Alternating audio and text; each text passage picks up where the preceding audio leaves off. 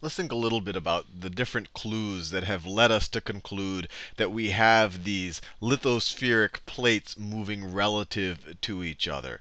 Now, the first clue, and this is something that I, I, think many students, even in elementary school, first experience when they first learn about geography, is it looks like the continents could kind of fit into each other. And the most obvious one of these is when you look at this kind of little pointy part of South America. And if you have a more detailed map, it really is amazing how well it seems to fit into this into the Nigerian basin right here in Africa. It looks like at one time this little pointy part was nudged into this part of Africa, that they were actually connected. And if you're a little bit more creative, there are other parts of the world that you can kind of start to see how they might have fit to uh, fit in with each other in the past. And that, you know, that by itself, that's just a very small clue, but it it kind of hints at well, maybe the you know if, if they want at one time were fitting were next to each other, or if this was kind of connected, then they've had to moved apart at some time. Although it doesn't tell us that it's still moving or what might have caused the movement. And it definitely doesn't definitively tell us that that they even moved. Maybe this is just a coincidence that this coast of South America looks very similar to this coast right here of Africa. Now the next clues, which really came over, I would say about the last 60 or 70 years, the first clue is that, okay, if you go to the mid-Atlantic ridge right here, so if you look at the Atlantic Ocean, let me look at this photograph right over here. So this is, it's a little, you don't normally see the oceans highlighted like this, so let me make it very clear to you. This right here is South America. This is South America. This right here is Africa. This right here is North America. And so if you look at, if you actually look at the elevations in the middle of the ocean, people noticed in the middle of the 20th century that, gee, there's a ridge in the middle of the Atlantic Ocean there's kind of a mountain range that goes straight up the middle of the Atlantic Ocean. So that by itself doesn't tell you that that the that you have these plates that are moving apart, but it is kind of a curious thing to look at. And not only is there a ridge, there's a lot of underwater volcanic activity. You have magma flowing out and lava flowing into the water, and it's kind of forming this ridge that really goes across the whole Atlantic Ocean. There are other ridges in the world like that, underwater ridges. You have one over here in the Pacific Ocean. You have you have these here in uh, the Indian Ocean. So that by itself, that's just just a little bit a, a little clue, but that by itself doesn't explain, doesn't tell you that these that these plates are actually moving apart at the ridge. The, the more con conclusive, you know, this is just the beginning of the clue, but what made this conclusive is one, the separate discovery, and this is what's interesting, is that you have these separate discoveries in different domains that eventually let you kind of come to a pretty neat conclusion. So you've had a separate discovery that if you look at different eras of magnetic rock, or maybe I should say different magnetic rock from different periods in geologic time, and you can tell where they are in geologic time by how they're layered. So this would be newer, newer rock.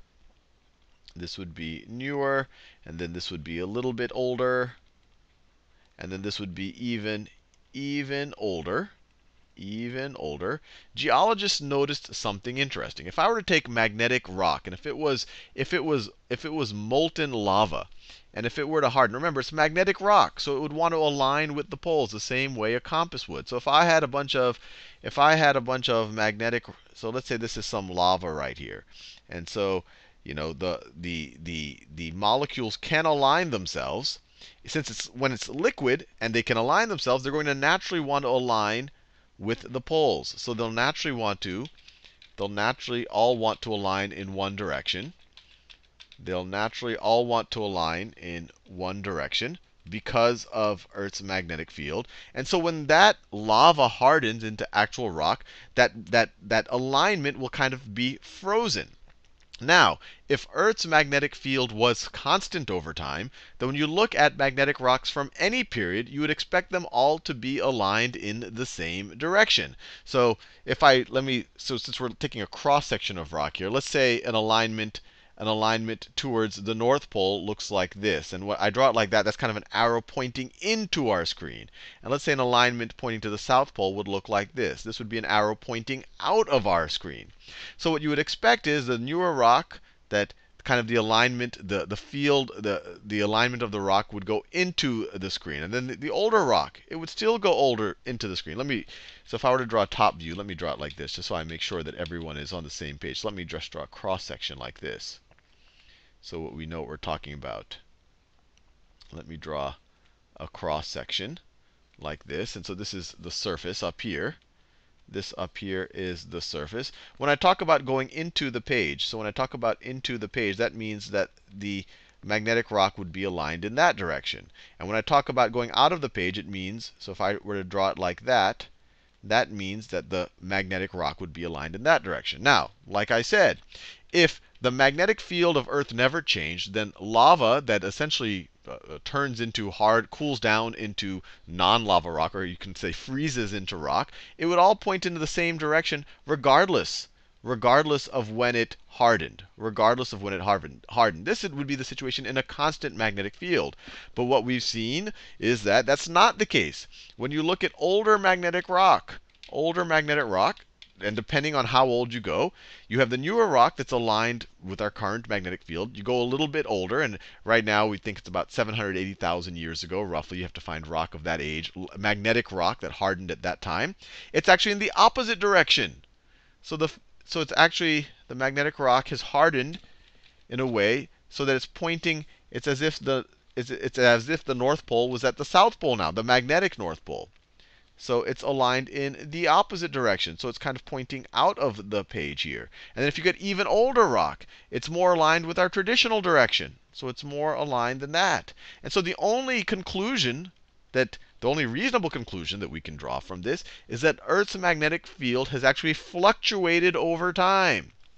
Earth's so magnetic field magnetic field fluctuates magnetic field fluctuates. Now you're probably thinking, Sal, how is this relevant to plate tectonics? Well, once you accept that magnetic fields fluctuate over the history of the Earth, there's another interesting uh, observation you can make about the rock on the at, that's kind of at the basin of the ocean floor. So not only do you have this do you have you know at the middle this this mid-Atlantic ridge? Do you have these these volcanoes uh, uh, spewing kind of new rock into the ocean, creating this kind of underwater mountain ridge? But it also turns out that the rock that forms the that the sea floor is also contains a lot of magnetite, which is magnetic. And what's really interesting about that? So let me draw. So let's say that this is so we have a top view just like we have over here. So let's say that this is this is the mid-Atlantic ridge right here. So mid, mid-Atlantic, mid-Atlantic, Atlantic ridge. Now this is really cool. So when they look at rocks that are very close to the mid-Atlantic ridge, they're aligned. And once again, we're looking at rocks at the floor of the ocean. They're aligned in a way that you would expect with the current magnetic field.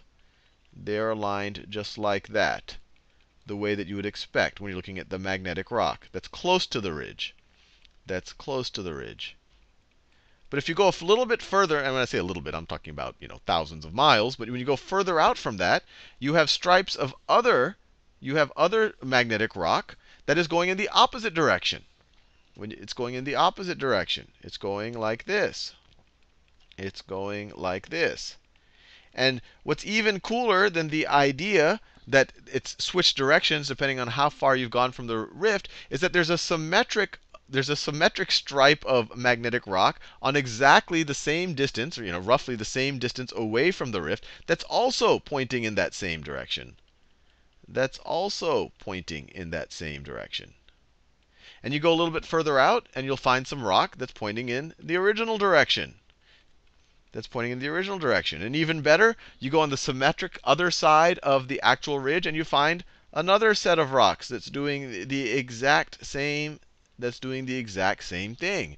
So if you accept if you accept that Earth's magnetic field has kind of been flip-flopping over time, the only reasonable conclusion, at, least that I could think of, or that the geologist can think of, is that sure, all of this all of this was formed all of this was formed at a similar period in time. This came out as lava, magnetic lava, and then it all aligned with Earth's magnetic field, and that's why it looks similar. You fast forward in time some, you fast forward in time some, and the only way, or actually, let's not fast forward in time. The only way that these could have formed, and they could have been so similar. So if we rewind in time, the only way that the, these purple magnetic rocks could have aligned this way in exactly the same way, at exactly the same distance, if at some point they were much closer to each other, if they were actually connected. So if we rewind in time, maybe at the mid Atlantic rift, you had all of the purple rock you had all of the purple rock coming out from those underwater volcanoes. And at that time, at that time, Earth's magnetic field had, was the opposite as it is right now. And then, of course, you had this blue rock. You had the blue rock that is looking like that. And so this seems like a reasonable explanation. This rock and this rock were at some point touching. They were actually formed at the exact place and the exact at the same time. And so if if this is the case, if at one point this purple rock was all together and they formed at the same time at the mid Atlantic rift, we're assuming all the rock was, well, we don't have to make that assumption, but if you assume that they formed at the same time and that based on the pattern, it really does look like they do, and it's a symmetric distance away from that rift, then the only reasonable conclusion I can think of is that the rift has had to move apart. The rift has had to move apart from this period to that period. And there was a time when all this blue rock was together. So that by itself, that frankly is the most definitive evidence in the 1960s where it kind of became conclusive that you did have these plates that were moving away from each other you did have these plates that were moving away from each other. And obviously, if the plates are moving away from each other at some point, and that means that, you know, just based on way the map looks, at some points they're also going to be moving into each other. We could talk more about that in future videos.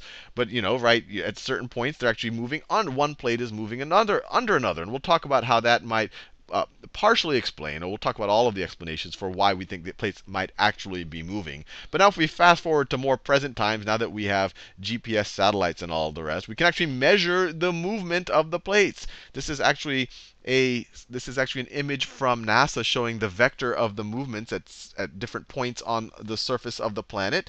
And you can say we've you can see we've gotten a lot of vectors from uh, the United States, so it's almost it's hard to read since it's so chock full of vectors. But you can see right over here in Hawaii, the Pacific plate at that point is moving in this northwest direction as measured by GPS satellites. And I want to make clear this movement is relatively slow. It's roughly the speed at which fingernails grow. But if you do it over millions of years, that actually amounts to thousands of miles. So it's, you know, we're talking on the order of about a centimeter a year for most of the plates. Some of the plates might be moving a little bit faster, uh, maybe close to 10 or 15 centimeters, but most are moving about a centimeter a year at the rate your fingernails are going. But this is fascinating because we can actually measure it because GPS is so accurate. Over here, it looks like the North American plate is kind of rotating generally in that direction. We have you know, I could, you know, the Nazca plate right here is moving is moving is moving roughly in that direction, moving into the South American plate. I'll leave you there right now. And actually, let me just, actually, before I, I leave you there, this is another thing that I got off of Wikipedia that shows that same magnetic striping. It's a, maybe a slightly neater drawing. I don't know which one might be uh, more helpful for you. But I'll leave you there in this video. In the next video, we'll think about some of the theories. We know now that the plates are moving. Let's think about some of the theories as to why they might actually be moving.